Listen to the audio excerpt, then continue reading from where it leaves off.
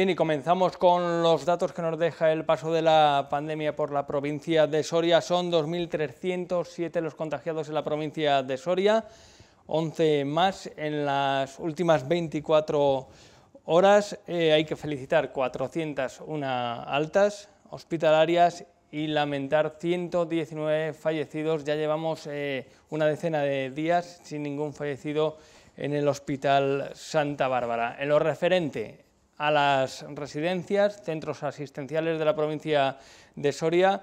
Eh, hay 2.165 personas y los fallecidos con síntomas eh, compatibles y con COVID confirmados se elevan a 200, 108 con COVID confirmados, 92 con síntomas compatibles. Hay dos personas aisladas con síntomas compatibles con COVID-19 y en aislamiento, preventivo sin síntomas se encuentran 200 personas en la provincia de Soria en estos centros residenciales. Lo mejor pues que el número de contagiados va en descenso, aunque es cierto que las últimas 24 horas con esos 11 nuevos positivos se ha subido un tanto el índice. En cualquier caso, nada que no impida pasar, como comentábamos antes con nuestro compañero Sergio Recio, a esa fase 1, eh, una fase 1 de la que hay que hacer uso con responsabilidad porque no conviene bajar la guardia. Ahora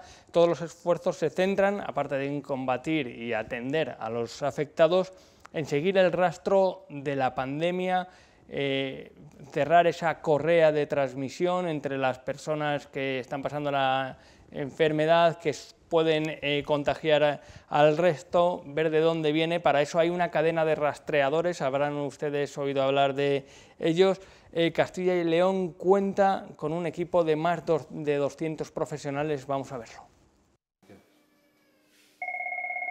El momento que llaman por teléfono y hay sintomatología, empieza el rastreo. Los conocemos como rastreadores del coronavirus, oficialmente llamados responsables de vigilancia epidemiológica. Su misión en la desescalada es frenar la cadena de transmisión. Requiere mucho tiempo de investigación, es que es mucho teléfono, marcar las fechas de los contactos y de inicio de los síntomas y sobre todo localizar el caso índice, el primero que ha podido ser el contacto el que les ha contagiado a todos. Hay que ser rápidos porque el contagio es exponencial. Imaginemos un caso hipotético, una madre de familia con síntomas que tendrá que hacerse una prueba de diagnóstico en menos de 24 horas, aislarse 14 días con su marido y su hijo, pero este a su vez se ha reunido con 10 amigos que también tendrán que aislarse y así se va ampliando el abanico de contactos. Si el hijo ha salido negativo, los amigos ya quedan quedan fuera. Si el hijo hubiera sido positivo, a los contactos habría que hacerles, porque si no, no, no acabaríamos, porque estos contactos tendrían otros contactos. Si la gente no te dice la verdad, es muy difícil de controlar. Vale, ahora necesito que me digas eh, los contactos estrechos que hayas podido tener y a qué llamamos contacto estrecho. 15 minutos de estar con una persona y, menos, de dos, menos de dos metros sin protección. Su tarea se complica en grandes ciudades si alguno de los contactos ha viajado en transporte público, pero sobre todo lo que dificulta el trabajo de los rastreadores es que alguien se salte el aislamiento necesario.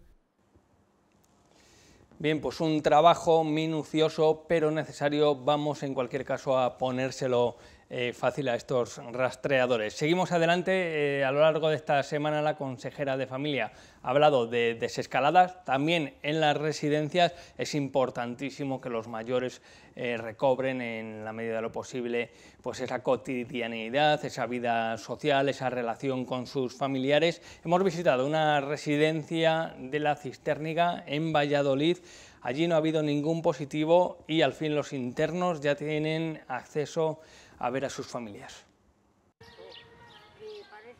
En este cumpleaños Ángeles no ha podido felicitar a su hijo con un abrazo. No te quedará frío ahí. Pero al menos le ha sonreído con los ojos. En mi cumpleaños y después de 100 días que, llevamos así, pues por lo menos ahora tenemos la posibilidad de podernos ver a través de, de, la valla. Tengo aquí a tu madre. Josefa y Ernesto siguen haciéndolo a través de una pantalla. Todas las familias han aprendido a hacer videollamadas grupales, lo de las reuniones por Zoom, todas estas cosas que, que a ellos intentamos que, que, que el día sea más llevadero. Han sido el bálsamo contra la soledad del encierro. El 10 de marzo, esta residencia canceló las visitas. Me puse muy triste y pensando más que en mí, en los de fuera, en mis hijos y en mis nietos. Abuela, ¿qué has comido? Por lo menos les ves, ves que están viendo lo mismo que por teléfono, que no lo ves, sí que alivia bastante. Yo iba con el patinete, mira, a una velocidad. Carmina le cuenta a su madre las novedades de su bisnieta. También le cuento, pues mira, me he encontrado con la con la mujer del primo Gerardo, me ha dicho que sus nietos están bien. A una distancia segura en la que todavía duele no besar ni acariciar. El día que, que vinieron después de besar, mira, empecé a llorar. Y a Teresa, pero Magdalena, ¿qué te pasa? Digo, que no puedo callarme, que no puedo callarme, que estoy llorando mucho porque no se puede ver. Con la paciencia quedan las arrugas y entre música y bailes guardan esos besos para cuando la primavera no tenga valla. Bien, pues pasos, eh, imágenes emotivas, eh, pasos, como digo, hacia la nueva normalidad también para los mayores que tanto han sufrido y están sufriendo porque de alguna manera están aislados sin poder ver en gran medida a sus familiares. Eh, seguimos adelante, lo avanzábamos anteriormente, el Ministerio ha flexibilizado los horarios, incluso también para aquellos que están en fase 1, pero en una población que no supera los 10.000 habitantes, que les voy a contar. Aquí solo se libra eh, Soria, o más bien Soria queda apartado del resto de la provincia, eh, tiene horarios más flexibles para salir a pasear, puede hacerlo en compañía de la familia, con los hijos, etcétera, etcétera. Medidas que también afectan a la hostelería y que ha dicho la hostelería soriana, que se ha despertado y de repente se encuentra con estas medidas han dicho podían habernos avisado un poco antes e íbamos preparando un poco los establecimientos hosteleros, ya no solo las terrazas, sino también el interior, porque se va a poder estar en el interior en servicio de mesa, eso sí, no de barra, hasta un 40%. Vamos a escuchar a uno de los miembros de Tour valorando esta medida. Nos ha pillado un poco eh, con el pie en cambio, por decirlo así, porque encima es viernes, eh, esto trae un poco de dificultad para adaptarse en, el fin de semana a la norma, o sea que me imagino que muchos establecimientos empezarán a abrir a partir del, lunes, sobre todo. Eh, hay que recordar pues, que el tema de la distribución pues, en los pueblos y tal es un poco más complicada. Bien, pues ánimo a los hosteleros. Eh, después de más de dos meses cerrados a Calicanto, se abre un nuevo horizonte hacia, esa nueva normalidad. Eh, queda trabajo por delante, tomar precauciones y también hay que pedir paciencia, como no, a los clientes. Eh, seguimos adelante. se habla mucho en las últimas horas de la posible derogación de la reforma laboral. Bien es cierto que esto afecta a otros ámbitos no vinculados directamente con el coronavirus, pero también hay quien dice que la abstención de EH Bildu en esa prórroga del estado de alarma, en contraprestación eh, viene ese pacto con Unidas Podemos, Partido Socialista y EH Bildu para derogar la reforma laboral tal como eh, deseaba, quería, pedía eh, la formación en vasca. A este respecto se ha referido el alcalde de Soria, Carlos Martínez.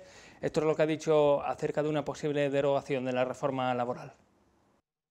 Yo he asistido a manifestaciones del primero de mayo en el que reivindicaban la derogación de la reforma laboral, ¿no? Por tanto, yo no me voy a mover de, esa, de ese posicionamiento, ¿no? Porque creo que hay mucho margen para que exista un verdadero equilibrio ¿no? entre patronal y derechos de los trabajadores. Críticamente la patronal arrima el asco a, su sardina y plantea que la derogación de esta reforma laboral puede quedar consecuencias desastrosas, ¿no?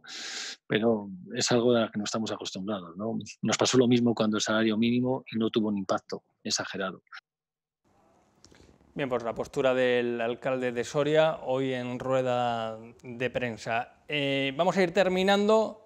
Eh, una de las últimas medidas que se ha adoptado desde el Ministerio de Sanidad, desde el Gobierno, es el uso obligatorio de mascarillas en espacios cerrados públicos y también en la calle, pues cuando no se pueda garantizar esa distancia de seguridad de dos metros entre personas. Eh, ponemos un caso, pues si uno se para en un paso de cebra y está rodeado de tres, cuatro o cinco personas, pues difícilmente eh, se puede guardar esa distancia de seguridad. Es por nuestro bien y por el bien de los que nos rodean. Esto es lo que opinaban los sorianos acerca de esta medida. ¿Qué os parece que el uso de la mascarilla sea obligatorio? A mí me parece que debe ser obligatorio y es importante, pues, porque evita la, la transmisión de la enfermedad. Aunque sea un poco incómodo o eso, no sé, por prevenir, no me, vamos, a mí no me importa. La niña, por ejemplo, con el calor lo lleva mal. ¿Para qué la utilizas a la hora de salir a la calle? Pues de momento siempre que salgo a la calle. A mí me da un poco de miedo esta situación y le he llevado desde el primer día y la niña también. Estoy pendiente de que haya distancia entre las personas o yo misma tomo mi distancia y hago mi deporte. ¿Habéis encontrado desabastecimiento o no? No, no, no, no hemos tenido problemas. Un poco difícil porque están agotadas en todos los sitios y hemos tenido que pedirlas vía internet.